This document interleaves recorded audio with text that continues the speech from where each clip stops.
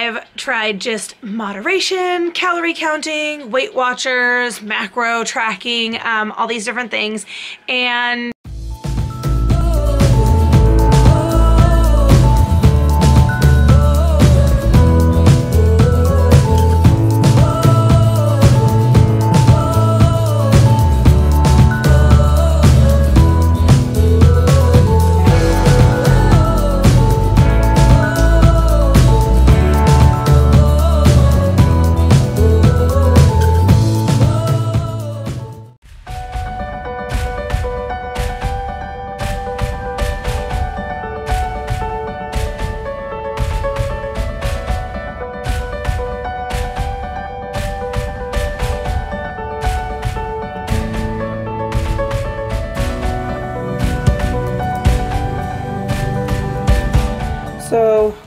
pretty basic this morning. We've got the coffee, we've got the cream, and I did one scoop of my collagen and then a half a scoop of chocolate protein powder.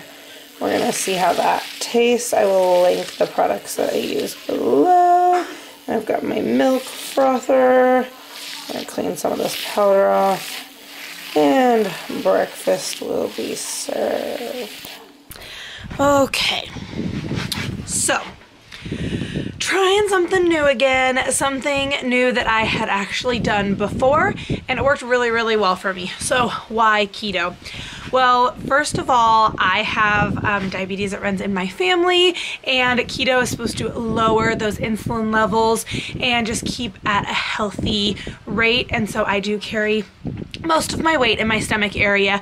So from a health standpoint, that's really important to me because I am not pre-diabetic and I, I don't want to become that way. I live a very active lifestyle and um, so if I can cut back on carbs and that can significantly help me be healthier, then I'm gonna go ahead and do it. Another thing is weight loss. I definitely need to lose a few pounds a, a, lot of few pounds to just be healthier. I'm very physically active and right now I'm working on mixing up my schedule, um, adding more things in because I teach a lot so I do the same thing a lot. So mixing things up so my body has a little bit of different things instead of staying at a plateau and probably going to be doing that with my eating. I have tried vegetarian, vegan, raw vegan, low fat, high carb, I've tried just moderation, calorie counting, Weight Watchers, macro tracking, um, all these different things.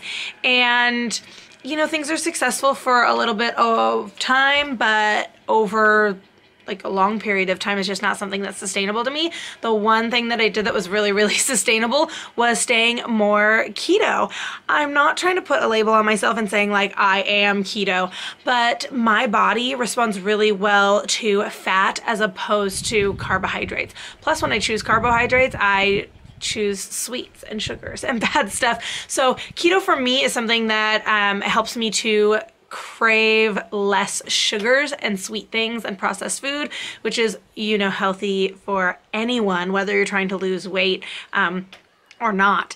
So what I plan on doing with my eating is eating more fats, eating more proteins. The carbs that I know work really well for my body and I don't have any problems with are sweet potatoes, fruits, vegetables, um, some quinoa, a little bit of oatmeal, but when it comes to potatoes, rice, things that are still considered beans. Beans are okay sometimes, um, but things that are still considered healthy just don't really suit well for me. They make me feel really bloated and uncomfortable, and I'd rather feel lighter and feel like I can just move a lot more and not feel so sluggish and tired. So I am back on doing things the keto way. I'm really excited. Um, you might look at this and say, oh, there's too many net carbs. You've got too many berries or too many vegetables or that's too much protein.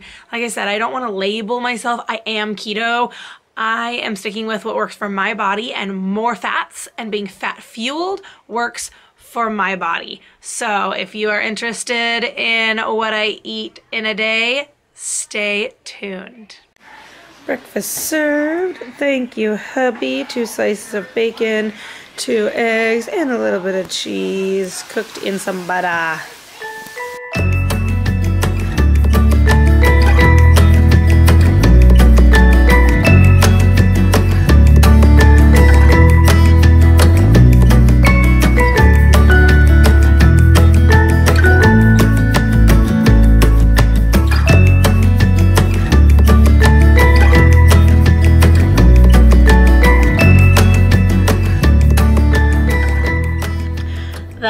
Exactly what I needed. It just got done with yoga with Tara. It was just a nice, like slightly challenging but really relaxing flow, talking a lot about what we are thankful for, um, being as Thanksgiving is coming up when I am recording this. So, ooh, yes.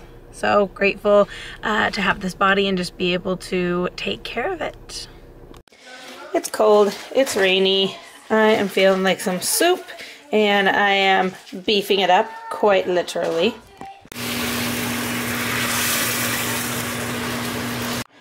So holy heck, got home from Body Pump and we worked it. I did not burn that many calories at yoga because I only did it for 60 minutes. I just forgot to turn off my watch.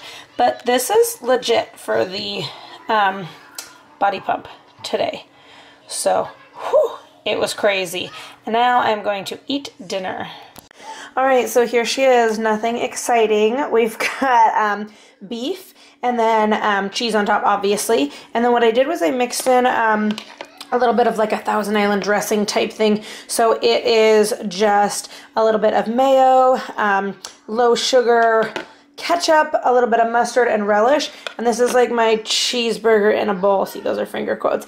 If I had some like tomatoes or lettuce to put with it, I would, but I don't. I only have broccoli and green beans. And so we're going super easy peasy tonight for dinner.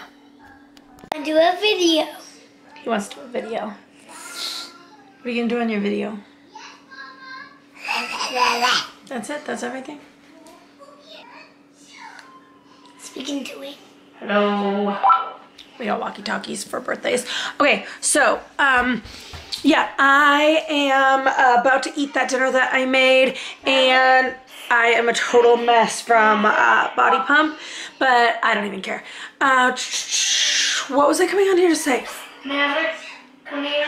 Oh, yes. So the last time that I ate was that beef and um, broccoli cheddar soup, and that was around noon. It's 8.25 now, so that was a ton, and that filled me up, and so this is like really just not not that much um, in comparison to what I ate at lunch, I guess.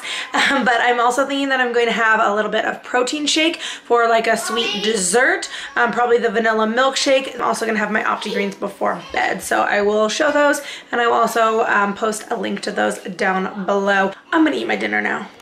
And we have dessert. Mm -mm, good. So I hope you guys enjoyed. I want to be back with more vlogging about what I eat in a day. Helps me stay accountable. And I would love to hear some tips and tricks from you guys on things that you enjoy eating that is more on a keto-esque um, scale. So drop some comments below, join the fam, stay tuned for the next video. Thanks guys.